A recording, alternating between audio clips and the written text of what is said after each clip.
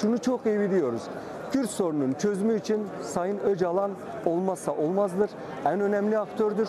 Bu Sayın Öcalan'ın e, Öcalan üzerindeki tecridin kalkması durumunda Kürt sorunun çözümü konusunda birçok kapının aralanabileceği, birçok adımların atılabileceğine olan ilişkin ümidi, umudu 2013-2015 sürecinden biliyoruz. Dolayısıyla biz bu çözümsüzlük haline son vermek, Sayın Öcalan'ın Türkiye'de yeni bir barış sürecinin başlaması açısından muhatap alınmasını sağlamak ve bu hukuksuzluk haline son vermek için HDP milletvekilleri olarak başvuruda bulunduk, görüşme başvurusunda bulunduk. Sadece görüşme başvurusu, başvurusuyla da sınırlı olmayacak.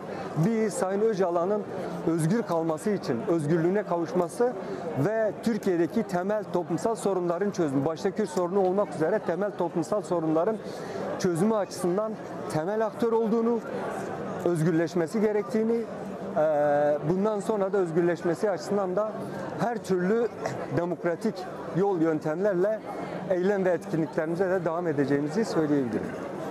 Bakan Bu sessizliğin kuşkusuz hükümetin bir bütün olarak çözümsüzlük politikasıyla doğrudan bir bağı var, illiyet bağı var.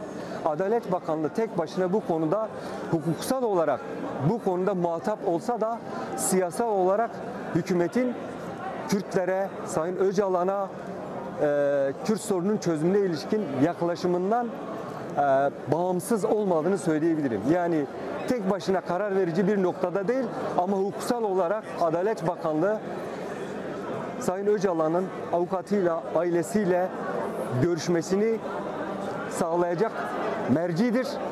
Buna cevap vermek zorundadır.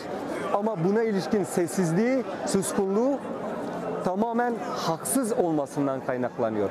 Haklı olan, hukuka uygun hareket ettiğini düşünen, güçlü olduğunu söyleyen, doğru olduğunu düşünen bir, bir hükümet çekinmez, korkmaz. Sayın Öcalan'ın konuşmasından da korkmaz.